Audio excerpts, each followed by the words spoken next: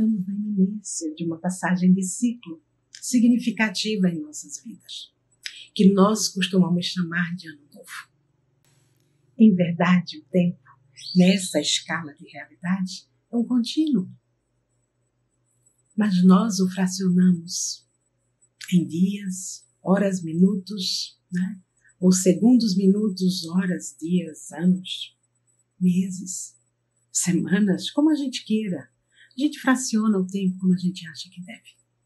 Mas em verdade, o que nós precisamos mesmo é nos depararmos com uma realidade de que nós somos um contínuo, de que a vida é única.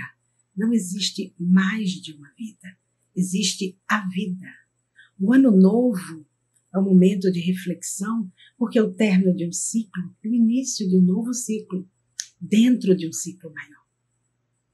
Ano novo é um convite para que a gente ponha em movimento tudo aquilo que a gente, por preguiça, inércia, procrastinação, adormecimento, ignorância, amortecimento, medo, não importa, a gente deixou de fazer. É um símbolo que nos convida a nos impulsionarmos em nossa própria direção. É um símbolo que nos convida a darmos o próximo passo.